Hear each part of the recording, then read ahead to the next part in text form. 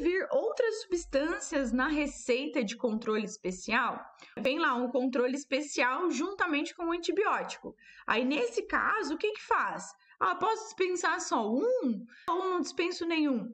Essa receita, ela está prescrita de maneira indevida. Então, se você dispensar o antibiótico ou se você dispensar o controle especial, você está fazendo uma dispensação é errada, né? Tá errado, porque na portaria 344 ela não fala sobre isso.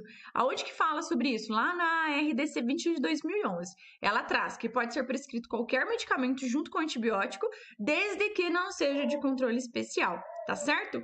Então, se você for dispensar um ou outro, né, ou antibiótico ou controle especial, então dispense os dois, porque dispensando um também vai estar errado. O que muitas farmácias fazem é, pegar a primeira via para o controle especial e a segunda via para o antibiótico, tá? Lembrando, está fora da legislação, tá bom? É difícil ter problema com a vigilância referente a isso? É difícil, mas está fora da legislação, tá?